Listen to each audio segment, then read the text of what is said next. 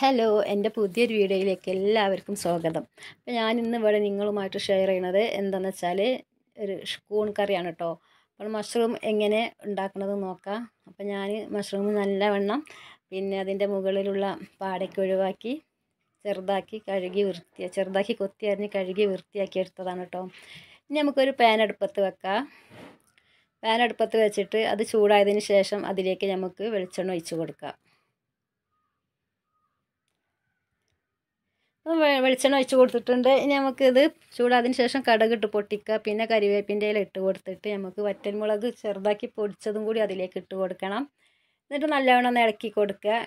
പിന്നെ ഞാൻ മീഡിയം സൈസിലൊരു സവാള എടുത്തിട്ടുണ്ട്. അത് ചെറുതാക്കി കൊത്തി അരിഞ്ഞതും കൂടി അതിലേക്ക് ഇട്ട് കൊടുക്കണം. അതിട്ട് കൊടുത്തിട്ട് നല്ലവണ്ണം ഒന്ന് ഇളക്കി കൊടുക്കണം കേട്ടോ പിന്നെ അതൊന്ന് വേഗം വേവാൻ വേണ്ടിയിട്ട് ഞാൻ കുറച്ച് ഉപ്പ് ഞാൻ അതിലേക്ക് ഇട്ട് കൊടുക്കുന്നുണ്ട്. എന്നിട്ട് നല്ലവണ്ണം ഇളക്കി കൊടുത്ത് മിക്സ് ആക്കണം. പിന്നെ ഞാനൊരു എട്ട് ചെറിയ ഉള്ളി ചെറുതാക്കി അരിഞ്ഞതാണ്. അതും അതിലേക്ക് ഇട്ട് കൊടുക്കുന്നുണ്ട്. അതുപോലെ തന്നെ ഒരു ഏഴ് വെളുത്തുള്ളി ചെറുതാക്കി അരിഞ്ഞിട്ടുണ്ട്. അതും ഞാൻ അതിലേക്ക് ഇട്ട് കൊടുത്തിട്ട് ഇളക്കി കൊടുക്കുകയാണ്.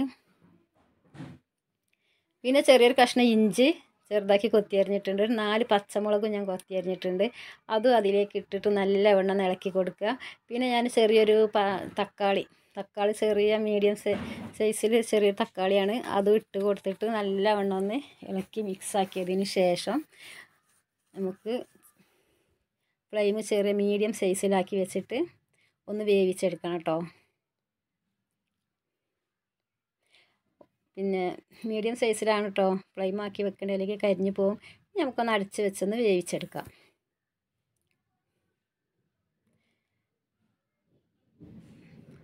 അപ്പോൾ നമ്മളൊന്ന് തുറന്ന് നോക്കുകയാണ് അപ്പോൾ തുറന്ന് നോക്കുമ്പോൾ തുറന്ന് നോക്കിയിട്ട് നമുക്ക് നോക്കാം ഇത് വെന്തിട്ടുണ്ടോ എന്നുള്ളത്. അപ്പോൾ നല്ലൊരു വേവായിട്ടുണ്ട് കേട്ടോ ഇനി നമുക്കിതിലേക്ക് മസാലപ്പൊടികളൊക്കെ ഒന്ന് ഇട്ട് കൊടുക്കണം. ഒരു ടീസ്പൂൺ മഞ്ഞൾപ്പൊടി ഇട്ട് കൊടുത്തിട്ടുണ്ട്. ഒരു പിഞ്ച് പെരുംജീരകപ്പൊടി ഇട്ട് കൊടുക്കുകയാണ് പിന്നെ ഞാൻ കാൽ ടീസ്പൂണ് കുരുമുളക് പൊടിയും കൂടി ഞാൻ ഇട്ട് കൊടുക്കുന്നുണ്ട് കേട്ടോ ഇത് ഇളക്കിയതിന് ശേഷം കുരുമുളക് പൊടിയാണ് ഞാൻ ഇട്ട് കൊടുക്കണേ. പിന്നെ ഞാൻ ഒരു ടീസ്പൂൺ മുളക് പൊടി ഒരു ടീസ്പൂൺ മല്ലിപ്പൊടിയും കൂടി ഇട്ട് കൊടുത്തിട്ട് നല്ലവണ്ണം ഇളക്കി കൊടുക്കുകയാണ് കേട്ടോ നല്ലവണ്ണം ഇളക്കി നല്ല മിക്സ് ആക്കിയിട്ടുണ്ട്. ഇനി നമുക്ക് ഇതിലേക്ക് കുറച്ച് വെള്ളം മഷ്റൂം വേകുന്നതിന് വേണ്ടിയുള്ള വെള്ളം ഒഴിച്ച് കൊടുക്കുകയാണ് ഇനി നമുക്ക് അതിലേക്ക് തിളച്ചതിന് ശേഷം നമുക്ക് മഷ്റൂം കൊത്തിയരിഞ്ഞത് അതിലേക്ക് ഇട്ട് കൊടുത്തിട്ട് നല്ലവണ്ണം മിക്സ് ആക്കിയതിന് ശേഷം നമുക്ക് അടച്ച് വെച്ച് വേവിച്ചെടുക്കാം.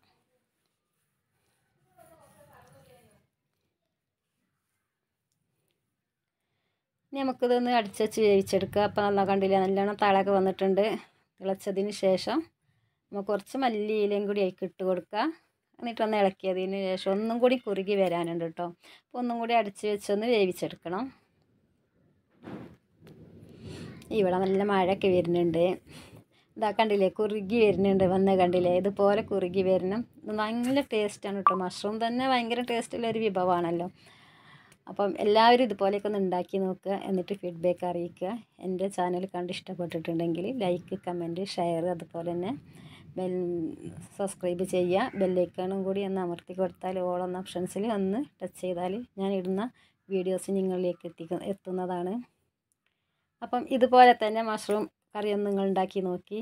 ഇത് ചോറ്റക്ക് അതുപോലെ തന്നെ നമുക്ക് ചപ്പാത്തിക്കൊക്കെ കഴിക്കാൻ പറ്റിയ ഒന്നാണ് കേട്ടോ അപ്പം എല്ലാവരും എന്നെ സപ്പോർട്ട് ചെയ്യാം.